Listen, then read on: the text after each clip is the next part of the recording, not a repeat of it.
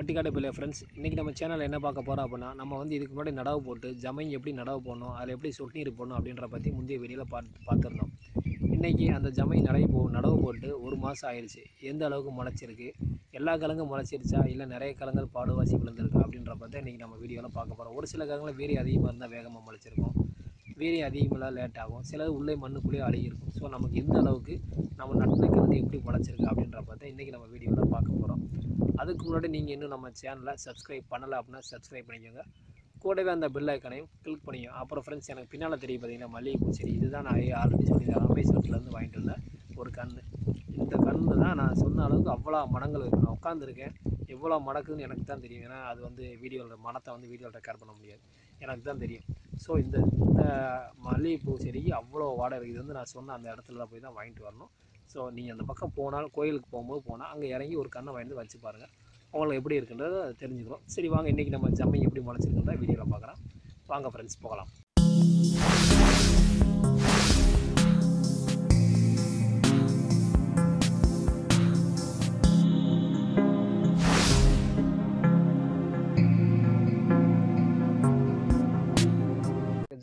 வந்து நம்ம ஏற்கனவே வந்து நடவு போட்டது. அன்றைக்கி மொதல் மொதல் நடவு போட்டு இதில் தான் நம்ம சொட்னி டீப்பில் போட்டு முதல் முதலே நடவு போட்ட ஜமங்கி இப்போ முளைச்சி வந்திருக்கு. நம்ம அன்றைக்கி போட்டதுக்கு இன்றைக்கி எவ்வளோ நாள் இருக்கும் அப்படின்றத அந்த வீடியோவை பார்த்தாலே நமக்கு தெரிஞ்சு அந்த டேட்டுக்கு இந்த டேட்டுக்கு எவ்வளோ நாள் வித்தியாசம் இருக்குன்றதை பார்த்தாலும் தெரிஞ்சிடும்.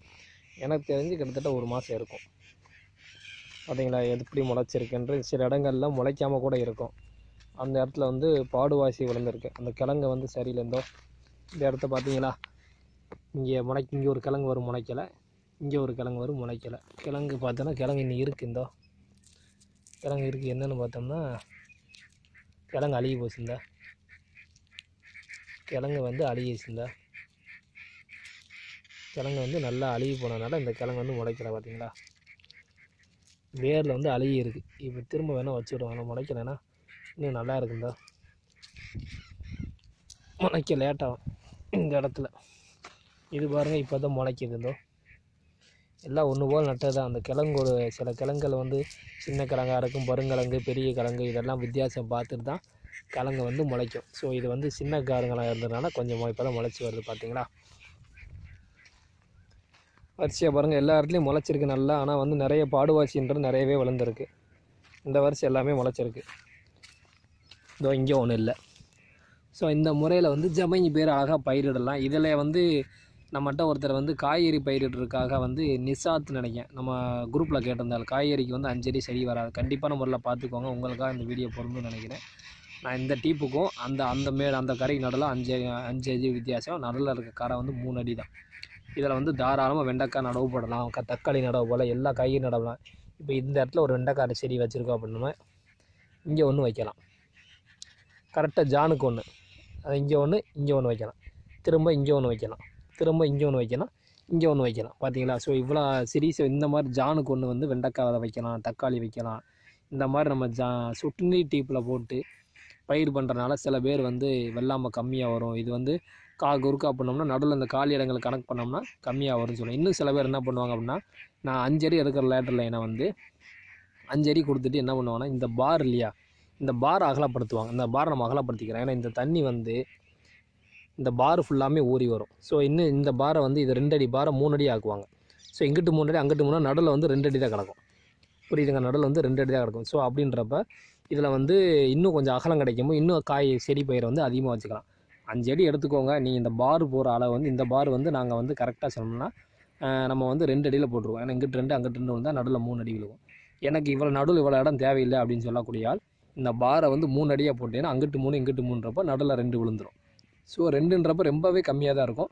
உங்களுக்கு இது கம்ஃபர்டபுளாக இருக்கும். நீங்கள் காய்கறி போய் நட்டிக்கலாம் எதுனாலும் நட்டிக்கலாம். ஸோ கண்டிப்பான முறையில் உங்கள் நாங்கள் பவர் டீலில் ஓட்டினால தான் மூணு அடி பவர் டீலில் ஓட்டலை அப்படின்னா கண்டிப்பான முறையில் இந்த பாரை வந்து அகலப்படுத்தினா நடுவில் இருக்க இடம் வந்து குறைஞ்சிரும். ஸோ இந்த தண்ணி வந்து நல்லா ஊறி ஊறி பாஞ்சிட்டு இதில் வெங்காயம் நடலாம். வெங்காயத்தை வந்து வெங்காய பாத்தியில் நடுறத விட இதில் நட்டோம்னா என்ன பெனிஃபிட் அப்படின்னு பார்த்தீங்கன்னா இதில் பாருங்கள் நாம் இந்த இந்த ரெண்டு அடி பாரில் சொல்கிறேன் இங்கே ஒரு வெங்காயம் வைக்கலாம். கரெக்டாக பார்த்தா இங்கே ஒரு வெங்காயம் வைக்கலாம். இங்கே ஒரு வெங்காயம் வைக்கலாம். இங்கே ஒரு வெங்காயம் வைக்கலாம். திருப்பி இங்கே ஒன்று வைக்கலாம். அதே மாதிரி அங்கே ஒன்று வைக்கலாம். மொத்தம் இந்த வரிசையில் நாலு வெங்காயம் நடலாம். இங்கே வைக்கக்கூடிய வெங்காயம் அடுத்த வெங்காயம் இங்கே வைப்பாங்க. பார்த்தீங்களா இப்படி வெங்காய பயிர் நடணும் போது இது பார்க்குறதுக்கு தான் வந்து இடம் கம்மியாக தரும் ஆனால் வெங்காயம் இந்த மாதிரி போட்டு வெங்காயத்தை நட்டி பாருங்கள் பாத்தியில் நடுறவர் இதில் மூடை வந்து அதிகமாக செல்லும். அதே மாதிரி ஈல்டும் அதிகமாக கிடைக்கும். வெங்காயமும் இந்த பயிரில் நடலாம். இதே நம்ம பார் அதிகம் போட்டோம் அப்படின்னோம்னா கொஞ்சம் நீர் அகலமாக போட்டோம்னா இந்த நாலு வருஷன்றது அங்கிட்டு ஒரு வருஷம் இங்கிட்டு ஒரு வருஷம் குடிக்கிறப்போ மூணு மூணு ஆறு வருஷம் நாலு வருஷம் வர இடத்துல ஆறு வருஷம் வந்துக்கிறோம் ஸோ இந்த இந்த சொட்டு நீர் டீப்புக்கு இதுதான் பொருத்தமான வரிசை. அஞ்சு அடின்றதான் கரெக்டான வரிசை. பா சொட்டு நீர் டீப் போட்டு காய்கறி பேர் என்ன போட்டுக்கலாம். நான் ஸோ ஏற்கனவே சொன்ன மாதிரி இந்த பாரை மட்டும் நீங்கள் அகலப்படுத்திக்கோங்க. ஸோ அஞ்சு அடி தான் கரெக்டான திசை. அதே மாதிரி இதோட நீளம் பார்த்தீங்கன்னா அந்த அந்த இடத்துல ஒரு கருப்பு டயர் தெரியும் நினைக்கிறேன். தெரியுதுங்களா? அந்த டயரில் இருந்து தான். இதோ இந்த இந்த இதாக எண்டு அந்த போஸ்ட் இருக்குது பார்த்தீங்கன்னா அதான் எண்டு அது வரைக்கும் தான் இருக்குது ஸோ கரெக்டாக பார்த்தீங்கன்னா இது வந்து நூற்றி நாற்பது அடி நீளம். ஸோ நூற்றி நாற்பது அடி நீளத்தில் கரெக்டாக இருபது அடி பிரிக்கணும். இருங்க நடு சென்டரில் போய் உட்காருவோம். பாருங்கள் எப்படி முளைச்சிருக்குன்னு பாருங்கள் ஒரு மாதத்தில் ஜமங்கியோட முளைப்பு எப்போ இருக்குன்னு பாருங்கள்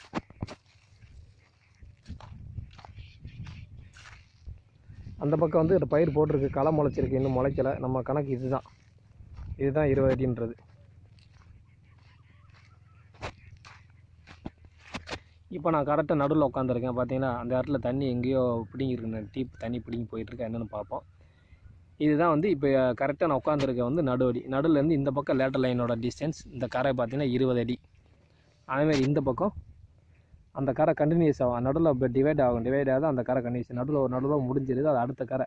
அந்த நடுவில் டீப் குறுக்க வருது பார்த்தீங்களா அதோட முடிஞ்சிச்சு. அது அங்கிட்டு தண்ணி இந்த தண்ணி லைன் ஸோ கரெக்டாக நூற்றம்பது அடி நீளம். இருபது அடி இருபது அடி இந்த டிஸ்டன்ஸை போட்டோம்னா சொட்டு நீர் வந்து வெயில் காலமானாலும் சரி மழை காலம்னாலும் சரி ரொம்ப வறட்சி கடும் வறட்சியானா கூட தண்ணி வந்து அழகான முறையில் பாயும். இதை விட அக நீளமாவோ அகலமாகவோ போட்டோம் அப்படின்னோம்னா கண்டிப்பான முறையில் நமக்கு பெனிஃபிட் ஆகும் ஸோ நூற்றம்பது அடினா இந்த டிஸ்டன்ஸில் போடுங்க.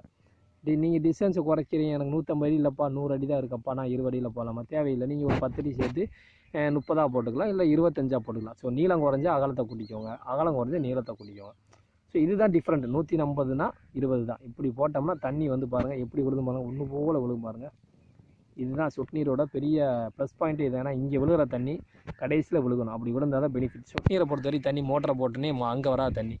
பின்னாடி பின்பக்கம் இருந்தால் தண்ணி முட்டி முட்டி முட்டி தான் இப்படியே போய் தண்ணி இங்கிட்டு இங்கிட்டு வரும்.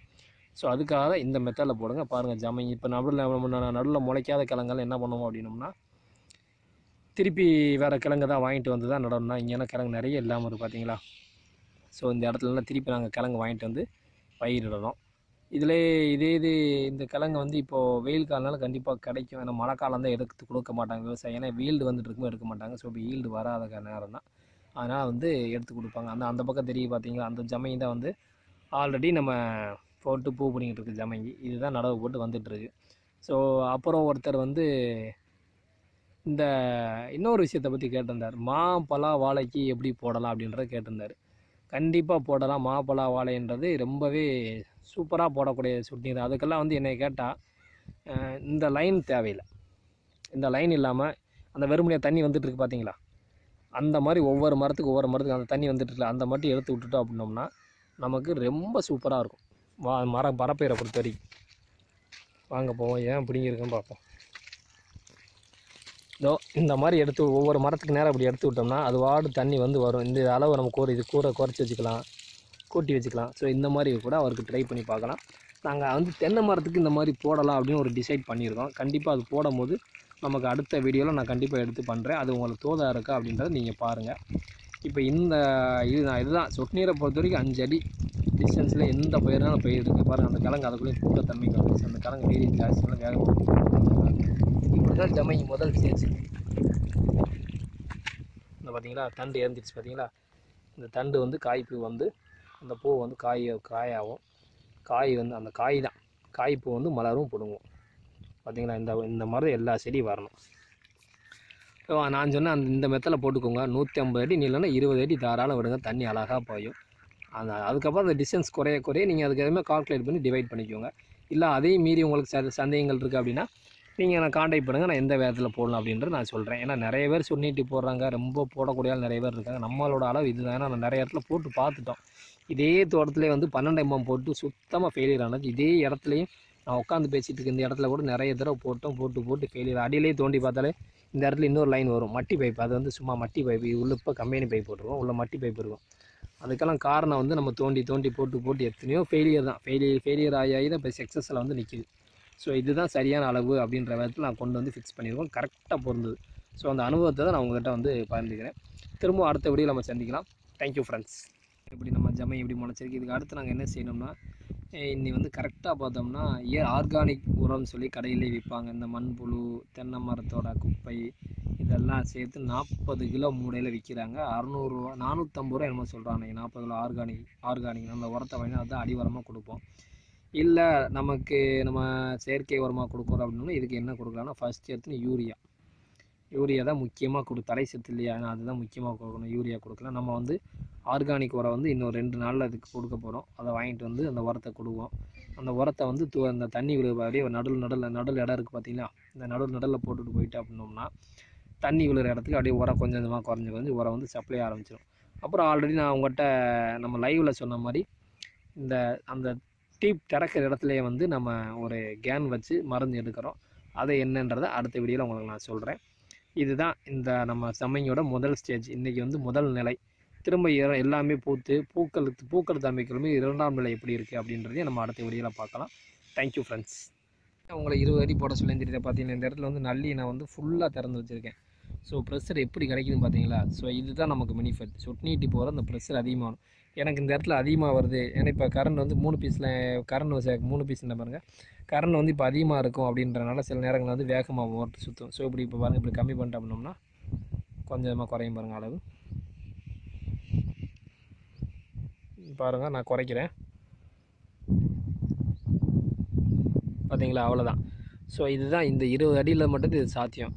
இப்போ நான் ஃபுல்லாக வச்சுட்டேன் அப்படின்னா பாருங்கள் எவ்வளோ தூரம் ஏறுதுன்னு பாருங்கள் இவ்வளோ ஹைட் நமக்கு தேவையில்லை. ஸோ இப்போ மோட்ரு அதிகமாக கரண்ட் வர்றதுனால மோட்ரு சப்ளை அதிகமாக இருக்குது கரண்ட் பவர் அதிகமாக இருக்கனால இப்போ அப்படியே நம்ம குறைக்கிறோம்.